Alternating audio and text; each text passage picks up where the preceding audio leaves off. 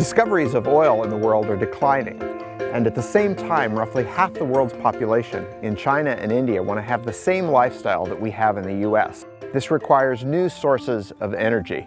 These tall grasses are potential sources for advanced biofuels.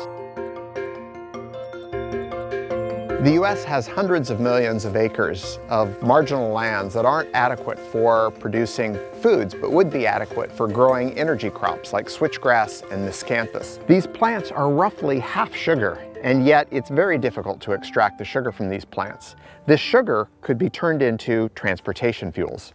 At JBEI, we are engineering these plants to more readily give up their sugars.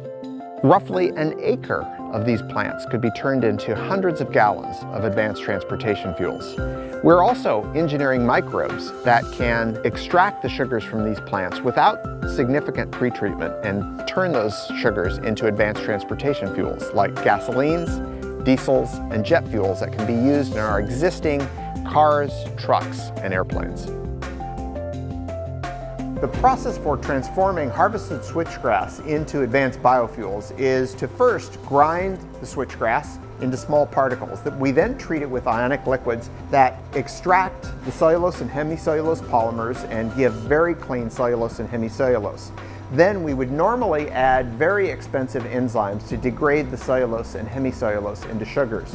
The breakthrough at JBEI has been to engineer an E. coli to produce those enzymes, secrete them almost free of charge to us, and then transform those into the advanced biofuels.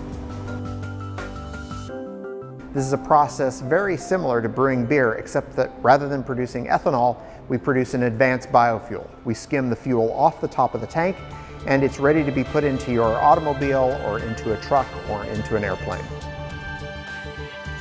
The results of this research will develop a new industry that will be based in America, that will create jobs for Americans, that will power our economy, and that will be good for the environment.